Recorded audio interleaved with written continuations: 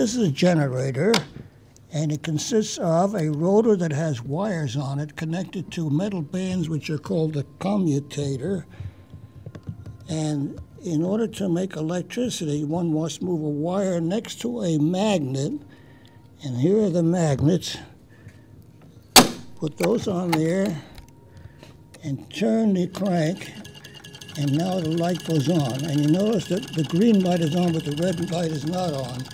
If you turn the other way, I have it, this is connected as a DC generator now. On it, depending on which way I rotate, I get plus or minus.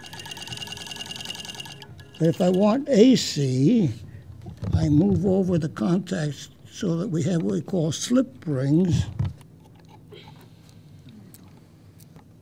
Okay, now. Uh,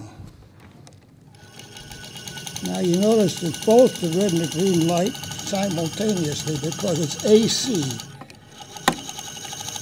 So one can have both AC or DC depending on how one makes connections to the wires that are being rotated through the magnet.